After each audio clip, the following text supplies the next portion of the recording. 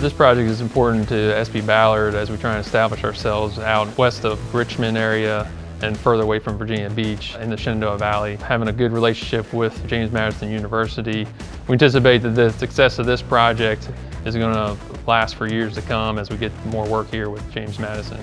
Somebody's been out here for the last couple years, there's not one inch of this building that I haven't been in. Every seat in this complex, there's no bad seat. Every good angle, sight lines are amazing. It's a very unique setting. All the seats are very close to the court. There's not one spot where anybody's going to have any restrictions to sight lines or any of that. One of the main purposes obviously is for basketball, but I know that they'll have ceremonies, they'll have graduation. So not just sports related, people are going to graduate, they're going to walk the stage, they're going to have their families here to enjoy all that. They'll have concerts, we're going to bring everybody in from around the Shenandoah Valley. So it's not specific to just basketball. There's other areas and other people that this building is going to touch, which I think over the lifetime of this building, there's going to be millions of people in here that get to enjoy the space. This is more than just a building, it's an experience.